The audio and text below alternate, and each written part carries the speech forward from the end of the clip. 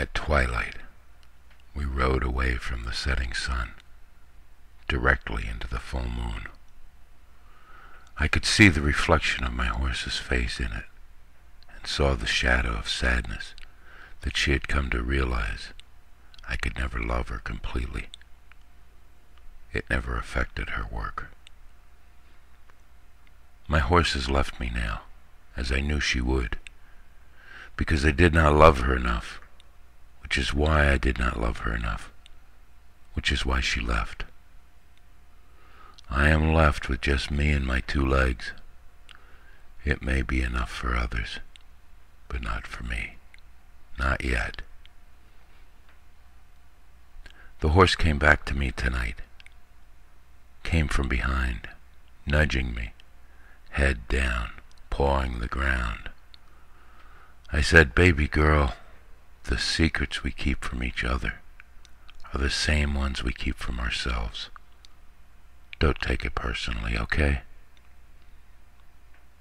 An hour after the horse came back, I could hear Carmelita coming up the stairs to my room. I said that I had gotten so tired of not hearing a voice that I had been talking to myself for three days. I said that I had decided that every poet is a warrior, and every warrior a poet, and she shook out her black hair and looked at me with those black eyes that I would have died to look into just once, and said, Shut up, preacher. Lie down and please, just shut up. I smelled the vanilla before I felt her touch. She had come to me in the darkened room while I lay alone thinking of a new poem. As Carmelita silently settled on top of me, she said, Feels like home, eh, preacher? Another poem lost forever to a woman.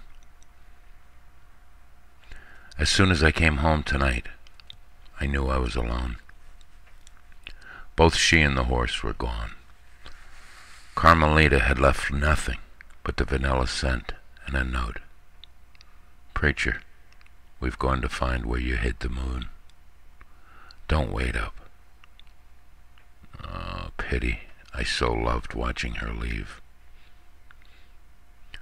Carmelita has left me so much, you would think I would get used to it. All I have left of her this time is the stain of her coffee cup on the table. It's getting to the point that when I see her standing in my door, I think that she's leaving me, walking backwards. If you were me, it would make sense. They stopped at the river. She knew it was where I hid the moon. The horse skittered. She danced. Oh, how Carmelita loved when a horse danced. And she loved when she found one of my secret places. So many places still to find. She has yet to find where I hid the sun.